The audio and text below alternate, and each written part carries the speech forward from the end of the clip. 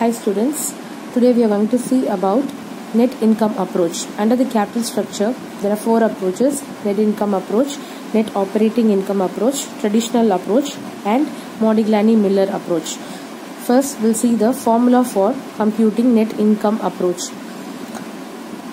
NI is equal to EBIT minus interest. That gives you the NI.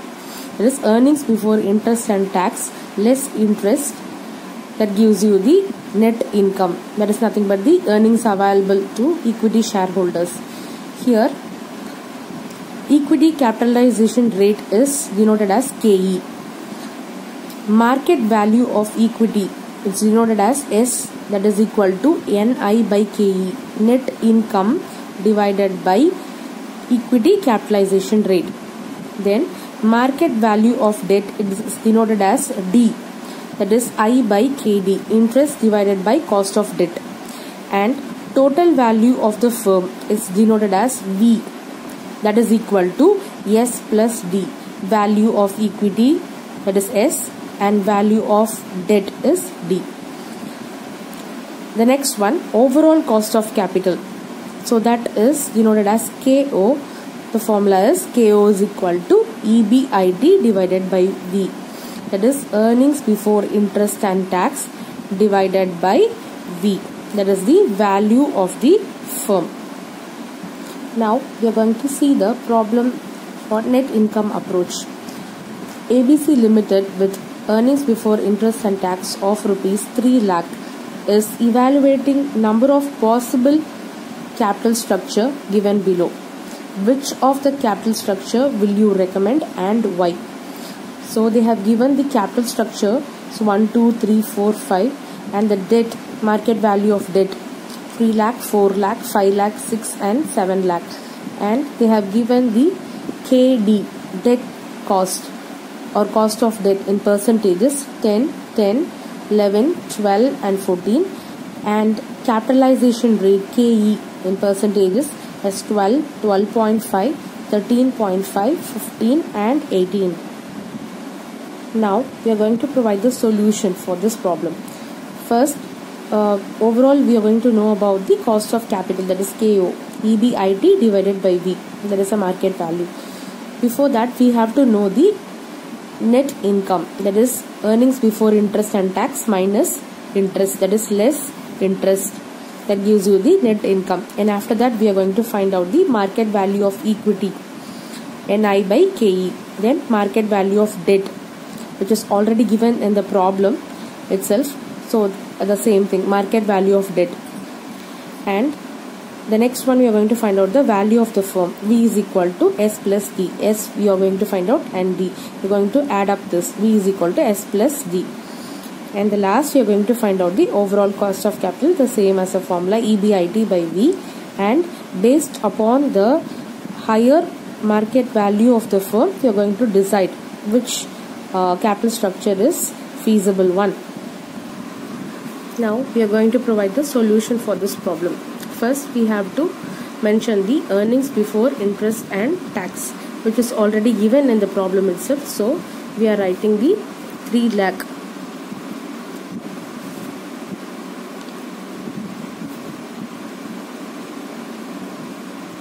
So it will be common. So it's constant. So 3 lakh for all the 5 years and then we have to less the interest less subtract the interest.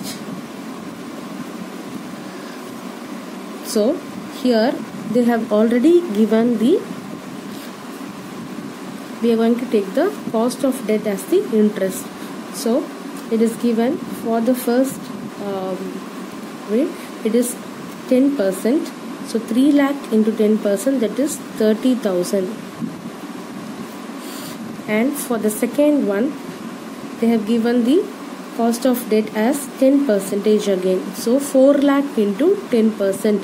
That is 40,000 and for the third one it's given as 11 percent.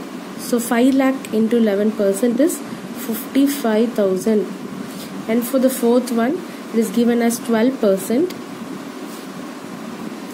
For the fourth it is given as 12 percent. So 6 lakh into 12 percent is 72,000 and for the last fifth year they have given as 7 lakh and for 14 percentage. 7 lakh into 14 percentage that gives you 98,000 now we have to deduct the EBIT EBIT less the interest rate so 3 lakh minus 30,000 is 2 lakh 70,000 and 3 lakh minus 40,000 is 2 lakh 60,000 and 3 lakh less 55,000 is 2 lakh 45,000 and 3 lakh minus 72,000 is 2 lakh 28,000 and the last one 3 lakh minus 98,000 that gives you 2 lakh 2,000 so this is the NI earnings of equity shareholders. Now we are going to find out the capitalization rate. As the KE is given in the problem itself that is 12% so 12 divided by 100 0 0.12 then 0.125 0.135 0 0.15 and 0.18 that divided by 100 okay? The next one we are going to find out the market value of equity. That is S market value of equity.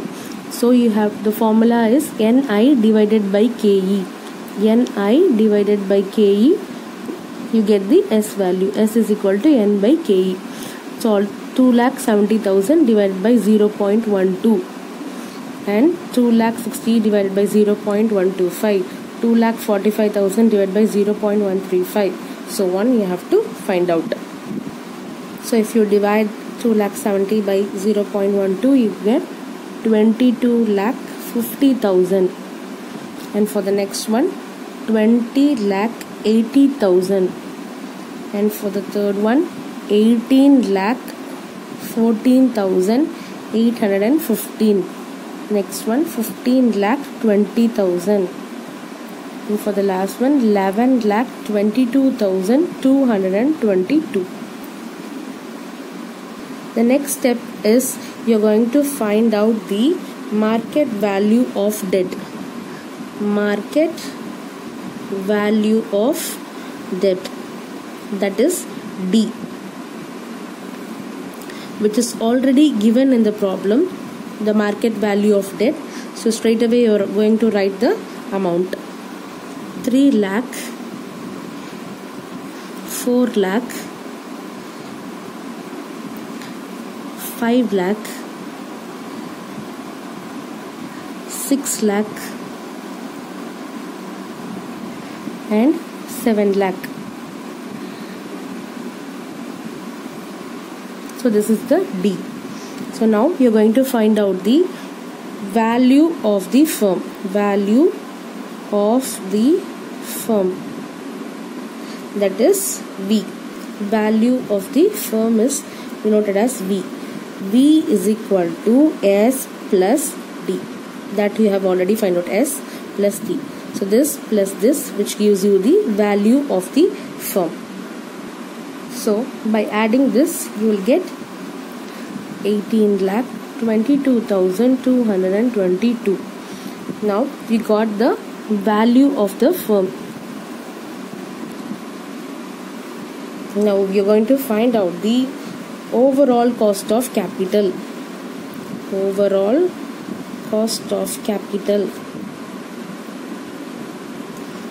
That is KO what is the formula? EBIT divided by V. EBIT divided by V. So what is the EBIT which is already given. You know that EBIT is the 3 lakh first one 3 lakh. So that divided by v. V is the value of the firm this. So this is the value of the firm. So you have to divide 3 lakh by 22 lakh 50 thousand. So by doing this you get